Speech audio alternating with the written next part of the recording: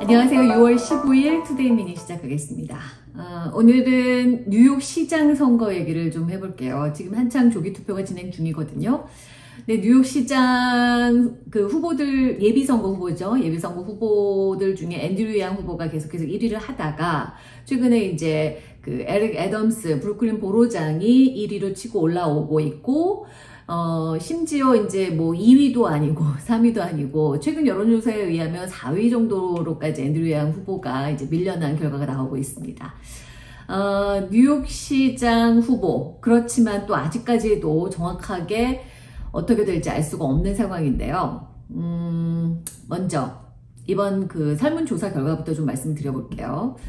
어, 이게 지난 3일부터 9일까지 뉴욕시 민주당 유권자 876명을 대상으로 WNBC와 폴리티코가 이제 설문조사를 실시했는데 이번 설문조사 방식은 조금 다릅니다. 그러니까 지금 뉴욕시장 선거가 순위 투표제로 실시가 되고 있잖아요. 그러니까 그 이제 민주당 예비 선거인데 어 내가 원하는 후보 한 명만 뽑는 게 아니라 내가 선호하는 후보를 최대 다섯 명까지 뽑을 수 있어요. 내가 스스로 어, 내 마음속에 1위 후보는 이 사람, 2위는 이 사람, 3위는 이 사람 이렇게 해가지고 순위별로 1등부터 5등까지 이렇게 나눠서 총 다섯 명을 내가 이렇게 표기를 할 수 있는 거예요. 투표 용지에. 이걸 순위 투표제라고 하는데요.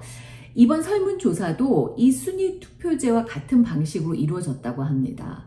그래서 이제 요번 선거 결과가 상당히 비슷할 것이다. 이런 예상도 나오고 있는데 그래서 설문조사에서 유권자들이 1순위로 꼽은 후보들의 그 결과예요. 여론조사 결과. 그러니까 1순위에서 1순위로 뽑힌 어, 후보 중에 1등이 에릭 애덤스 보로장이에요. 24%를 얻었습니다. 상당히 높고요. 2위가 17%를 얻은 캐서린 가르시아 예전 그 어, 뉴욕시 그 청소국 소속이었죠. 그리고 3위가 15%로 마야 와일리 그 인권 변호사가 차지했습니다. 그리고 4위가 앤드류 양으로 13%.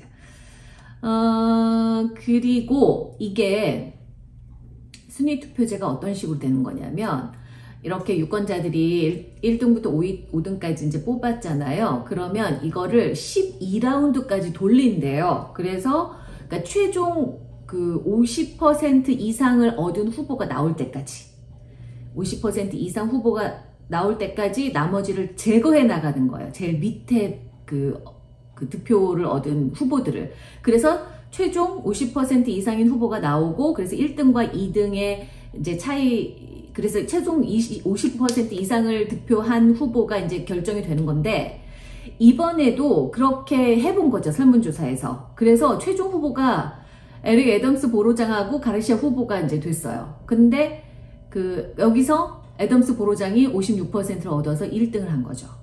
그리고 가르시아 후보가 44%. 그러니까 최종 후보에도 이렇게 두 사람만 남았어요. 그러니까 굉장히 지금 에릭 애덤스 그 후보가 아주 유리한 상황이죠. 이번 그, 그 뉴욕시장 선거를 두고 최근에 뉴욕타임스가 이런 보도를 했습니다. 그러니까 이번 뉴욕 원래 뉴욕시 하면 그러니까 민주당이 굉장히 우세한 지역이고 민주당 중에서도 굉장히 그 극진 좌파 계열이 굉장히 우세한 지역이죠.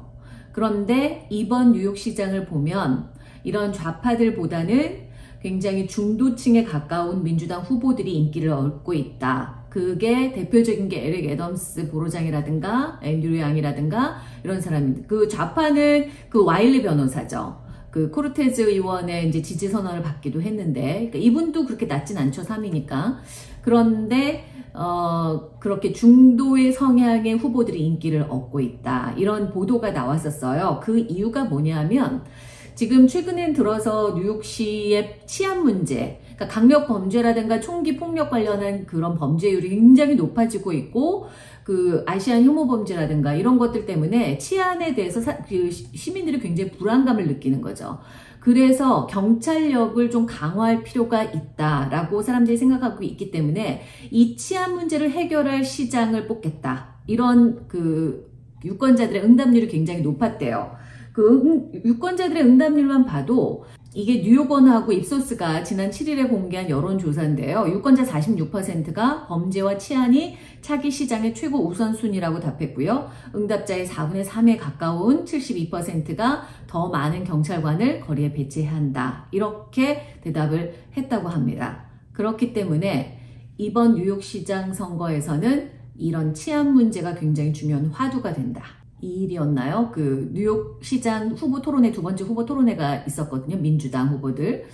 거기서 그 그런 질문이 나왔었죠. 경찰력으로부터 어떤 그 무기 소지나 이런 것들을 하지 않는 거에 대한 의견을 물었을 때 그 와일리 변호사, 인권 변호사만 대답을 안 했고 나머지들은 반대한다라고 얘기했죠.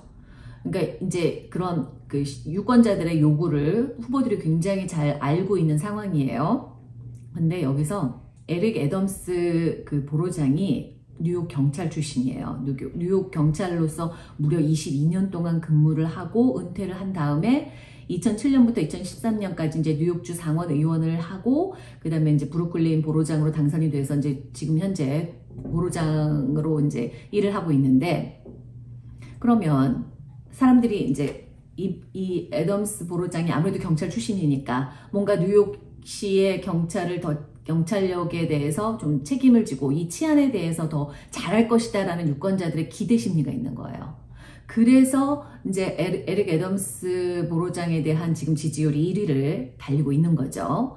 물론 스캇 스트링어 그 감사원장도 굉장히 초, 초반에는 굉장히 선전을 했었거든요. 근데 이제 여성 관련한 그런 스캔들이 터지면서 지금 굉장히 하위권으로 밀려나 있는 상황인데 그래서 이제 이 스캇 스트링어 그 감사원장의 표를 애덤스 이제 보로장이 많이 가지고 왔다고 해요. 그래서 이제 이 이후에 이제 애덤스 보로장의 지지율이 굉장히 급상승하고 있는 면도 있지만 어, 사람들은 어, 애덤스 보로장에 대한 기대 심리가 있는 거죠. 경찰 출신이고 잘할 것이다.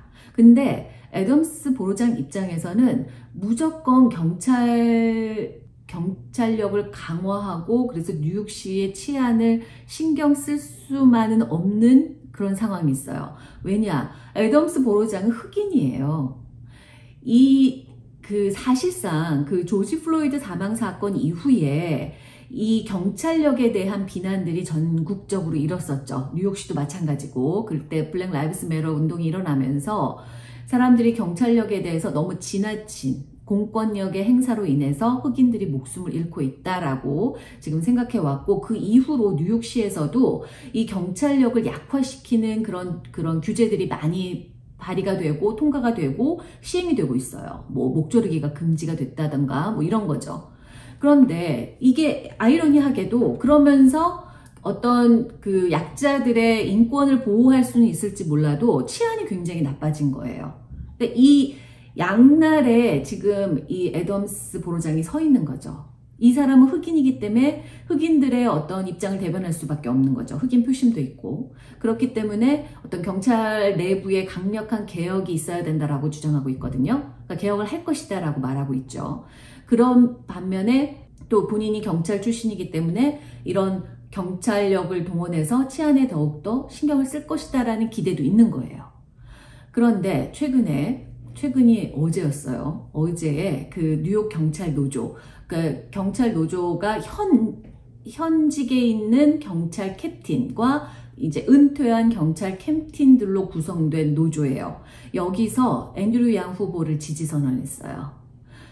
어, 우리가 생각하기에 당연히 애덤스 보로장을 할 것 같은데 앤드류 양을 했단 말이야. 왜 그랬느냐? 애덤스 보로장이 일찌감치 경찰 노조의 지지를 받지 않겠다라고 스스로가 발표를 했어요. 그러니까 나는 그럼 받지 않겠다. 그러니까 부담이 되는 거죠. 만약에 경찰의 그런 지지를 받게 되면 어떤 흑인 유권자들이나 이런 부분에 있어서 아무래도 이제 부담이 되는 거죠.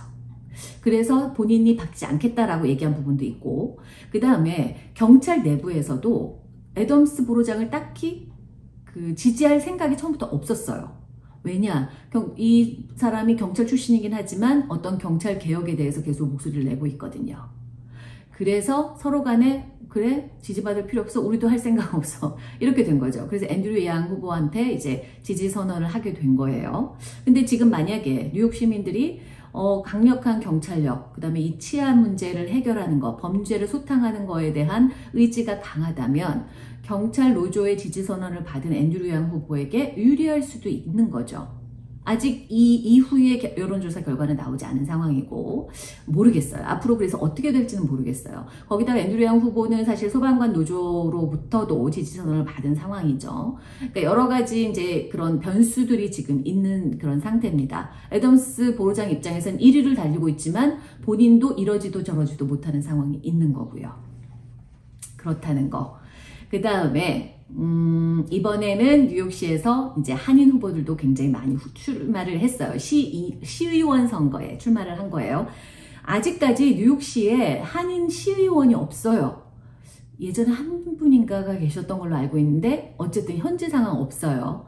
그래서 이번에 그 이제 총 다섯 분이 출마를 했어요. 리차드 리, 존 최, 린다 이, 그다음에 줄리 원, 헤일리 킴. 이렇게 다섯 분이 지금 시의원, 그러니까 보통은 그 한인들이 많이 거주하고 있는 지역구예요. 거기에 이제 한인 후보가 이제 나오셨으니까 각 지역 지역별로 이제 지, 나, 나눠져 있으니까 어, 한인 후보들에 대해서 여러분들이 좀 많이 관심을 가질 필요는 있을 것 같고요.